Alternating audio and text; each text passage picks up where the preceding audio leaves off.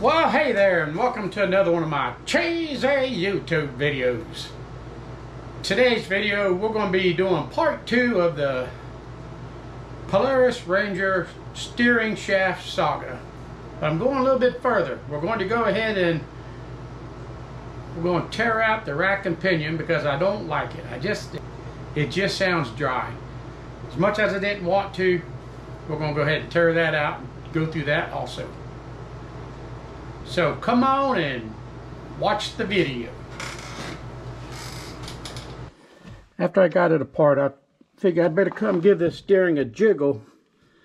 And mainly I just want to make certain that that stub on that rack and pinion was moving with with the um, wheels.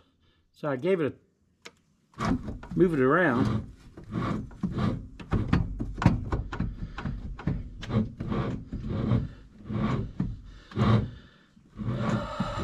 Does, but it's I don't like the sound of it. Sounds dry. And I don't think I necessarily see slop in it. Only slop I feel is in the lower control arm. So if I'm this far into it, do I go ahead and pull the rack and pinion out and try to disassemble it and grease it? Or since it doesn't really have any play, do I just move on? Well, I think I need to pull that rack and pinion out. Everything I read on the internet about these things is they really didn't do a good job on the rack and pinions as far as lubricating them from the factory and they have a habit of going dry and going bad. So I guess I'll take her apart. Tie rod ends a 15 millimeter wrench on top and a 17 on the bottom. You gotta pull the key out. The good thing it's not a tapered fit, so it should come right apart.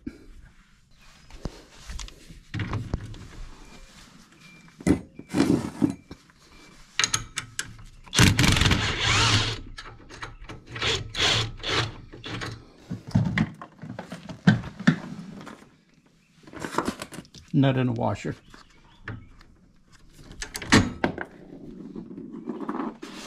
And another washer.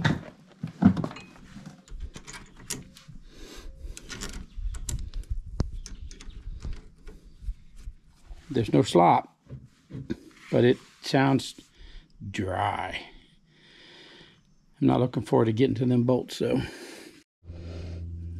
Okay, these bolts are really hard to get out, especially this one down in here because it's back behind this frame member. And on the other side, this plastic, this is a plastic wall right here. I got a screwdriver basically, basically a screwdriver handle jammed in to give me some clearance. The nut is on the back side. It's not flush with the back side, it's recessed in. So I'm using a 3 8 drive breaker bar. It's got a half inch socket on it, but it should be a 13 and I'm dropping it back behind the wall working to get it on the nut. Then I found pulling the screwdriver out and letting the wall hold this in place was the best best way to do it. It sucks but it can be done. Even for a fat guy who doesn't get into tight places as easy. I got a pair of vice grips on the last two lower ones on the main unit. I took the upper bolt out already but I shoved it back in its hole to keep the vice grips from turning. I'm using, I'm going to use a ratchet and extension from inside. It's out. Three bolts holding the main body, then two other bolts holding this bracket assembly. The bottom two right here, put a vice grip on them from outside the cab and work a an extension and I used um, impact from inside the cab. On the upper one and these these other two, 3 8 breaker bar with a 13 millimeter socket, let the plastic wall wedge it into place. Then a ratchet or ratcheting boxed in or whatever you got to work it from outside the cab. It wasn't no fun, but you know that I now that I got it figured out, maybe it'll be easier for y'all. I'm going to clean it up and make plans to strip her and see if we can't grease her up or determine whether or not we want to keep it. Okay, I pulled the boots off. There's a bushing inside there that this rod slides back and forth through. This is a ball and socket joint. Same as on this side. I believe this is an adjuster to adjust pressure of this gear up against the worm gear that should be on this shaft. It's been peened. If you see these little marks, that's where after they assembled it and adjusted it, they took a punch and they peened it, which pressure from the peen is keeps this from wanting to back out. Now I took a um, uh, saw blade and I scratched across the housing and the piece that screws in, hoping, hoping to create a reference point for putting it back together. This is done the same way. It's also got peen marks. Okay, I backed this out. It was four revolutions. You got a spring.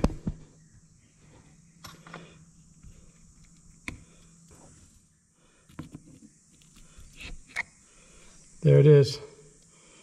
This what pushes that shaft against that gear in there. And actually, there's grease on there. Okay, so what have I come up with? I believe the rack and pinion is good.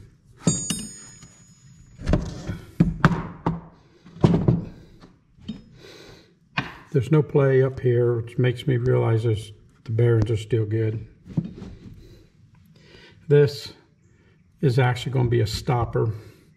It's going to restrict the travel when when this rod moves that way. There's a lot of play in it, but this plastic piece put in this hole goes over the shaft like so, and that takes the play out. So there's no bearing purposely on this end. There's no, there are no metal filings or anything in the gear assembly. And as much as I've read on the internet that these things were prone to go bad because of inadequate lubrication, it is lubricated. The only thing I don't know is if these top bearings have got sufficient hole in them. And I can't tell if they're seal bearings or what but I'm going to leave it be. I'm going to put some grease inside of here up on, on this rack and put my boots back on. Now you see the, how critical these boots are because there's nothing stopping dirt from getting inside of here or inside of here and getting inside the mechanism. So if you got a torn rack and pinion boot, you might want to change them out. I've kept my steering adjustment because I haven't taken the tie rod ends off. The cut of the shaft is good. There's nothing wrong there as far as being stripped.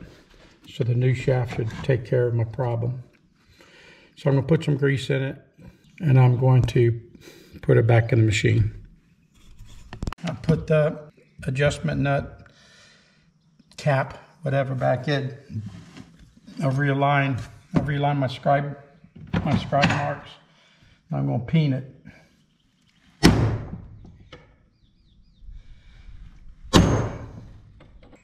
been peened over, so shouldn't want to back out. Back on with the boots.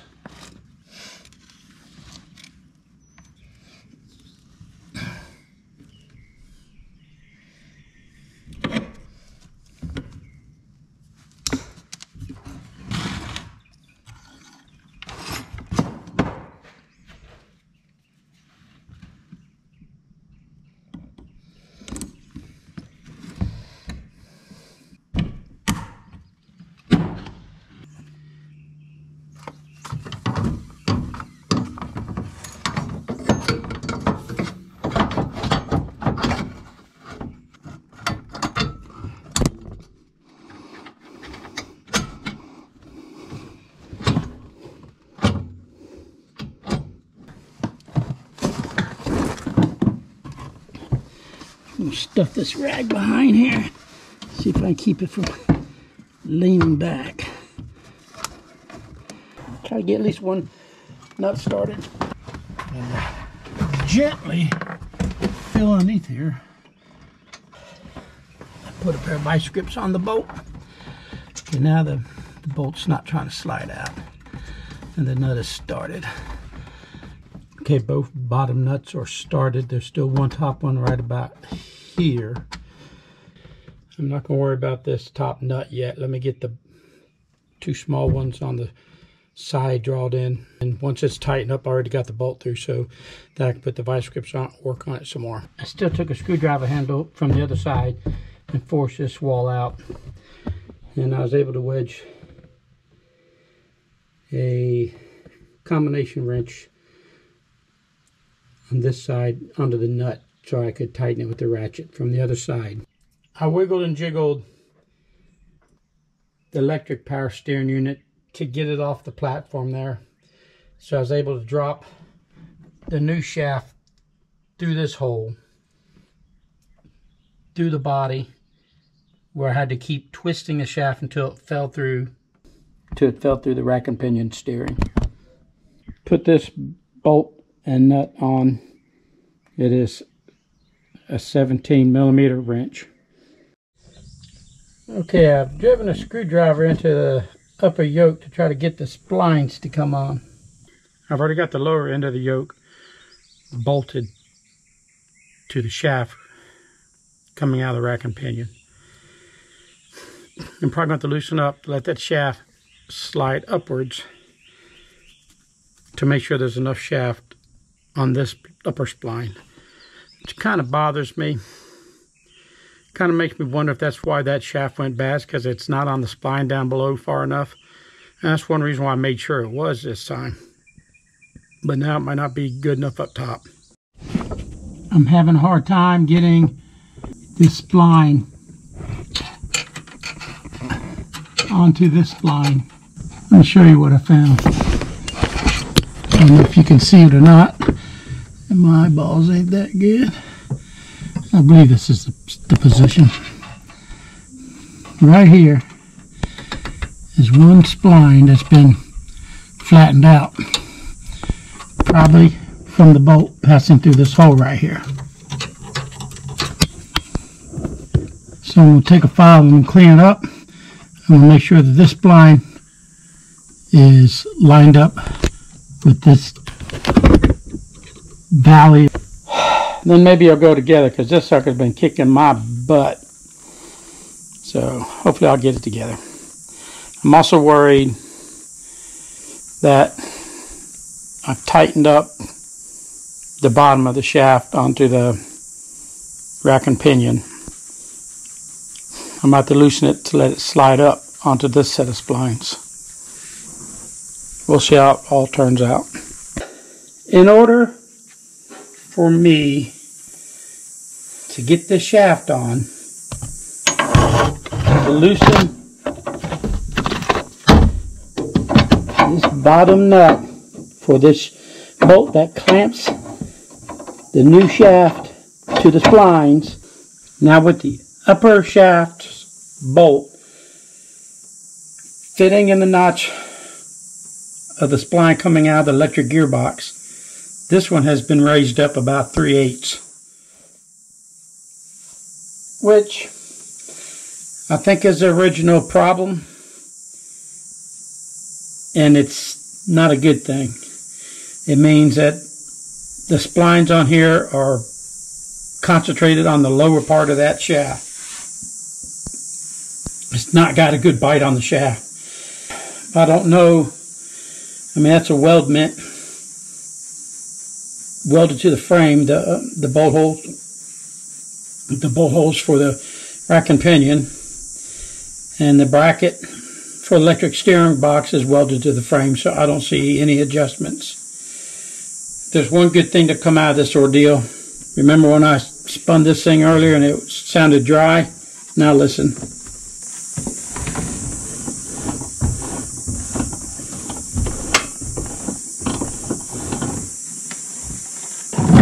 it runs back and forth nice and smooth. Okay, I'm trying to align my steering wheel. I'm going to sight down the side of the machine. Looking at the front disc. Looks like it's making a slight right turn. Do the other side to confirm it. Yes, it appears to be doing a slight right turn. My steering wheel showing a slight right turn. I think that's good. Well, maybe I don't. Still showing a slight right turn, so I took the steering wheel off because it wasn't shown. It wasn't. It was not lined up. Took the nut off, 15 16ths in my electric impact. I put. I, usually I put my knees underneath the steering wheel, sitting on the seat. I'll be sitting in the seat, put my knees underneath the steering wheel, put a bunch of upward pressure. I'll put the nut back on till on a good ways and just a little bit off, backed off just a little bit. Then I I whacked a nut with the hammer while I got my knees underneath it, pushing up. And that's, I didn't really use my knees on this one because it was too tall, but I was able to reach my arm around there and pull up. And it popped loose pretty good. I wanted to make sure there was no master spline because sometimes on steering wheels there's a master spline and that makes it so you can't just adjust the steering wheel to recenter it. You got to adjust the tie rods. And I wanted to get this done now before I put any the plastic on because I'd hate to take all that back off just because I have to pull the steering shaft out again. But I'm good. So I'm going to keep putting things back together. Got the, this plastic's not going to be fun, but I think it's next. Well, I think I'm going to end that video right there. Just, it the rest of it goes back together the same way it came apart in the first video. Also, I'm actually not going to put the plastic all the way back on quite yet because I'm pondering on whether or not I want to modify that steering shaft, which I don't really want to do, but I think I could make it better. I don't really want to take on any liability as far as if it were to break. The, the problem with the shaft not going on the splines far enough, far enough, that's Polaris's problem. If I go modifying the shaft and the weld breaks or something, then someone might consider that my problem. So I was thinking about making a telescopic shaft. But I would also have to think by doing so would I be would it would I ruin a two hundred and something dollar shaft because thinking it could be telescopic winds up getting a bind or something. So I don't know the answers. So I'm just gonna ponder that, but as far as doing this part of the job we're done and I want to thank you for watching my video. And um, please like and subscribe to my channel and tell your friends I want to grow this channel. And I'll continue making videos on projects I got around here. And remember if you love life and learning new things go aimless.com